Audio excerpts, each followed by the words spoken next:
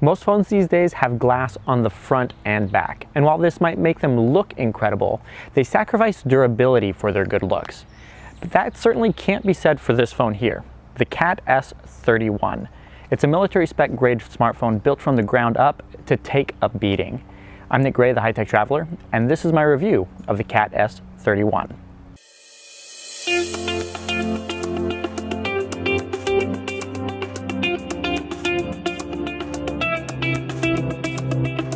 Soon as you see this device, you'll know that it's not intended for the general consumer.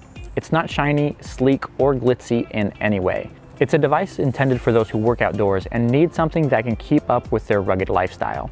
To that end, the Cat S31 is water, dust, and drop proof with a scratch resistant screen.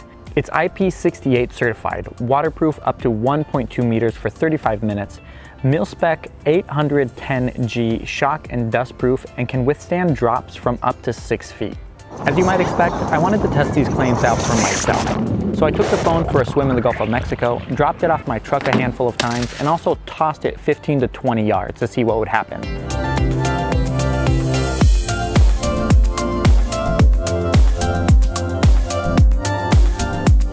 I wasn't surprised that the Gorilla Glass 3, which protects the 4.7 inch 720p display, did get a couple scratches after a couple drops, but it didn't crack and the phone's rubberized casing only showed minor signs of wear. As for the design, the Cat S31 is completely wrapped in soft touch rubber, with protruding lines which wrap around the edges and the back of the phone, giving you a secure grip on the device even while wearing gloves. You also get three physical buttons below the display and well-pronounced buttons on the sides which have a nice click action to them. I'm also a fan of the dedicated function key which can be personalized to launch different applications with a long or a short press. And to aid with water resistance, the 3.5mm headphone jack and the micro USB port are secured with rubber flaps. The one design choice that I find a little bit odd is the slight gap between the screen and the edge of the phone, which easily collects dust, sand, and pocket lint. The gap is likely there to assist with shock resistance and keep the screen from cracking when dropped from 6 feet high, but I'm sure with a little bit more thought, they could have come up with a better solution. Having passed the torture test, I moved on to battery endurance. Normally a phone this size would have a 2500 milliamp hour battery, but Cat's crammed in a 4000 milliamp hour cell.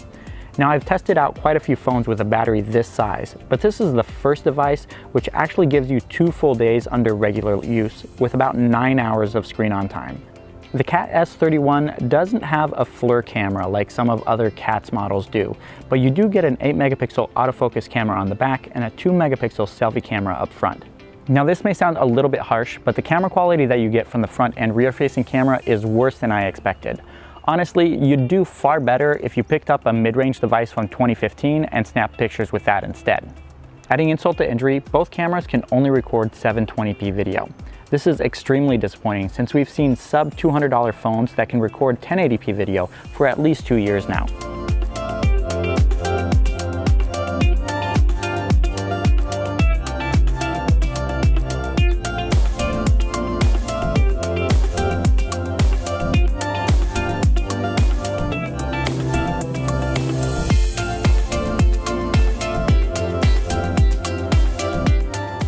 But all that can actually be forgiven since this phone wasn't built to take pictures or play games. It was built for durability.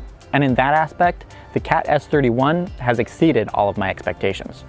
If you're looking for a phone that can take a beating and last two days on a single charge, I highly recommend that you take a hard look at this phone. Thank you so much for watching. If you have any questions about the Cat S31, let me know in the comments below.